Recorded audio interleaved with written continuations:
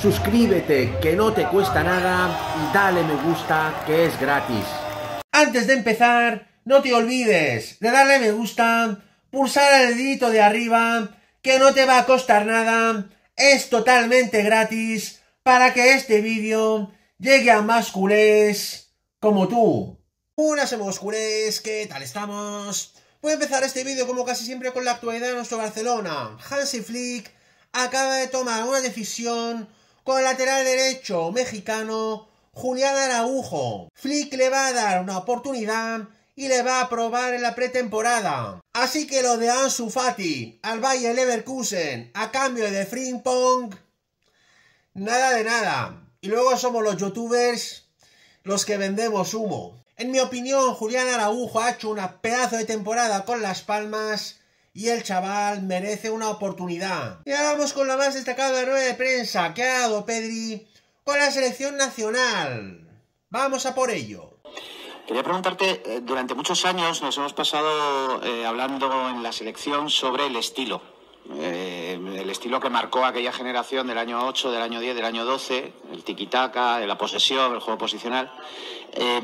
De un tiempo a esta parte tengo la sensación de que se ha dejado de lado ese debate, tenemos jugadores más verticales por las bandas, etcétera.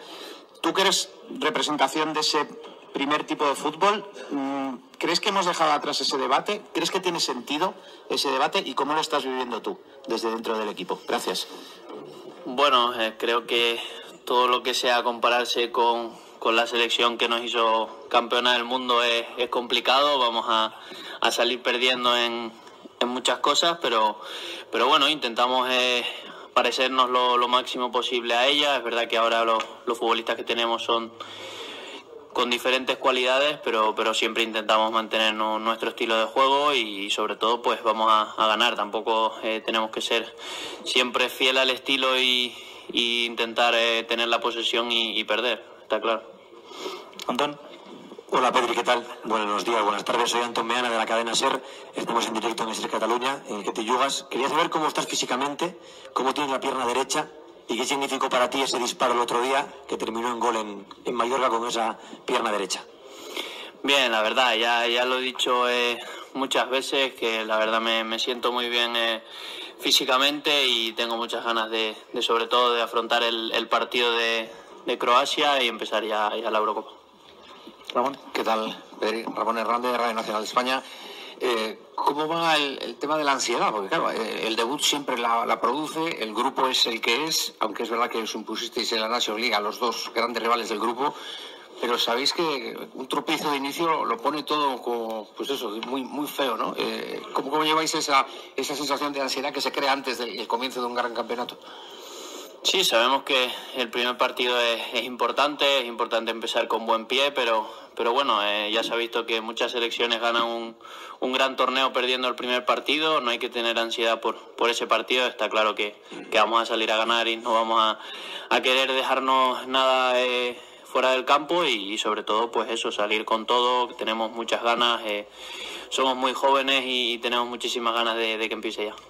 Alfredo. Buenas tardes, Pedro Alfredo Martínez, Onda Cero. Sabes que se generan muchas expectativas contigo, se espera siempre mucho de ti. Eh, tu regreso después de un año y medio con goles también ha generado esas expectativas. ¿Sientes que puede ser muy importante que llegas en un buen momento a esta selección y que puedes tener un peso importante en este equipo? Gracias. Bueno, sí, siento que, que puedo aportar mucho. He trabajado mucho para, para llegar a, donde estoy ahora. Eh, esta temporada para mí ha sido difícil, pero está claro que, estoy en, uno de los mejores momentos de, este año e intento pues ser lo, mejor posible para el equipo y ayudar de, de la mano. En mi opinión, esta Eurocopa es la última oportunidad de Pedri. O explota de una vez por todas, o el Barça lo tiene que traspasar. Y ahora vamos con un avance de la entrevista que ha dado nuestro crack canterano Lamin Yamal con la selección nacional. Vamos a por ello. Estamos con Lamin Yamal, jugador uh, de la selección española, 16 años, tu primera Eurocopa. Eh, ¿Cómo te ha cambiado la vida, no? En un año también. Sí, bueno, hace la Eurocopa del 2020 estaba ahí con mis amigos en un centro comercial mirándola, pues ahora ya estoy aquí a jugarla. Eh, oye, mira, eh, hablamos de, de, tu edad, ¿no? Al Alcaraz, el que acaba de ganar Roland Garros el otro día. En una entrevista precisamente en Mundo Deportivo decía esto, ¿no? se comparaba qué hacían los con 16 años eh, pues el Victory, ¿no? Eh, Djokovic, eh, Djokovic eh, Rafa Nadal y Roger Federer. Tú no sé si te, plante te has planteado qué hacían con 16 años, que tú ya estás en una Eurocopa jugando en el Barça, pues gente como Messi, como Cristiano, como Mbappé. Sí, bueno, a ver, no lo pienso mucho porque al final también era en otras épocas, pero bueno, intento enfocarme en, el presente, que es ahora jugar la Eurocopa y centrarme en los partidos. Que te comparen con toda esta gente, ¿a ti te da cierto vértigo o es un orgullo? No, yo creo que al final son comparaciones que hace la gente. Intento ser yo, jugar a mi juego y o sea, que la gente me, reconozca por mí y nada, eso. Eh, en este año, eh, con todo el boom futbolístico y mediático que has tenido, ¿quién te ayuda a gestionarlo? Bueno, estoy mucho con mis padres, mis amigos, intento estar tranquilo, mantener la misma vida que tenía antes. Y nada, yo creo que eso te, al final te deja con los pies en el suelo igual que eras antes. Rodri, eh, después del partido de, de Mallorca, hablaba de ti que eras, y de Nico también, que erais unos extremos diferentes, distintos. ¿no? ¿Tú te sientes también un jugador diferente dentro del campo? Bueno, sí, es verdad que estos últimos años no hay tantos extremos como yo y Nico, van quedando menos, pero bueno, es lo que hemos hecho siempre, nuestro juego es así y nada, pues muy contentos de que se nos reconozca de esa manera. En este sentido, ¿tú cómo, eh, de qué manera mejor te sientes jugando? ¿Cómo disfrutas más jugando? Bueno, yo creo que obviamente cuando tenemos el balón, cuando partido de idas y vueltas, cuando está abierto, obviamente yo creo que a ningún extremo le gusta un partido cerrado y nada, partidos con la selección, la verdad que me lo paso muy bien. ¿Y en qué momento dices, bueno, va, vamos a pasarlo bien, ¿no? Aquello de, ahora sí estoy disfrutando como cuando jugaba con mis colegas. Sí, bueno, yo creo que en todos los partidos que juego con la selección, al final cuando juego con Nico, el otro equipo tiene que cerrar por su banda y tiene que cerrar por la mía, entonces ahí me lo paso mejor porque estoy en muchos uno contra unos. Eh, aportas mucho dribbling, también mucho descaro. Eh, ¿Eso se, se, trabaja o es una cosa ya de personalidad? Bueno, yo creo que eso te sale a ti mismo, o sea, toda tu vida ido haciéndolo desde que soy pequeño, mi juego así, yo creo que no se puede trabajar. Em, este eh, Eurocopa, ya llevas un año explotando en el Barça, también en la selección, pero es la primera gran competición, el gran primer escaparate que tendrás. ¿Crees que puede ser eh, tu gran confirmación como futbolista?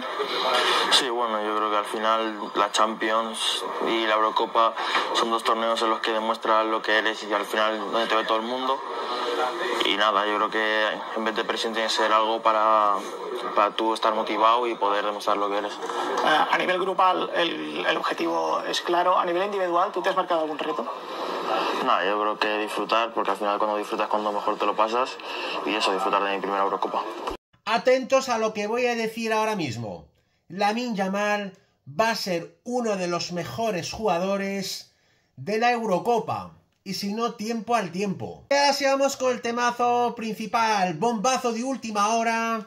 Fichajazo inminente de un brutal crack por el Barcelona. Es el verdadero tapado de Hansi Flick y en mi opinión es uno de los mejores defensas del mundo. Es más, ha sido el mejor defensa de la Champions League junto con Rudiger. Se trata de nada más y nada menos que del brutal defensa internacional alemán que todavía pertenece al Borussia Dortmund, Max Hummel. Una fuente deportiva muy importante acaba de asegurar que Max Hummel ya tiene total acuerdo con Hansi Flick para jugar del Barça la próxima temporada. Llegará totalmente gratis al Barça, ya que tiene una muy mala relación con el actual entrenador del Borussia Dortmund. La misma fuente afirma que Max Hummel va a ser el sustituto de algunos de los centrales que van a abandonar el Barcelona, como Íñigo Martínez, Clement Lenglet o Eric García. A mí me parece un auténtico fichajazo. Es más, creo que Max Hummels puede ser perfectamente el central titular del Barcelona junto con Ronald Araujo la próxima temporada. Esta ha sido mi grandísima noticia de hoy, amigos culés. No os olvidéis suscribirse a mi canal, que no os cuesta nada. Pulsar un like como siempre y dejarme comentarios para cambiar opiniones. Muchas gracias Forza Barça por siempre, vamos a por todas.